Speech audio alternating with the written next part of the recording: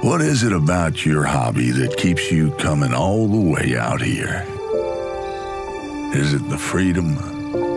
Wandering in search of that perfect spot?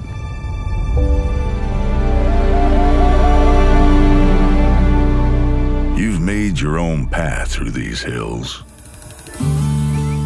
Tasted the fresh water of our lakes, our rivers. You've been on the water with friends at sunrise and helped the locals long past sunset.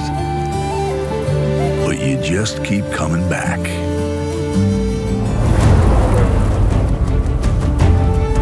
At this spot, you got a pretty good idea what's lurking beneath the surface.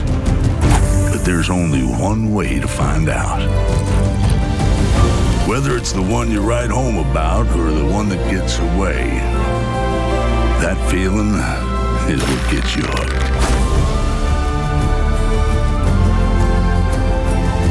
That whether it's your first time or your hundredth time, you never know what you're gonna catch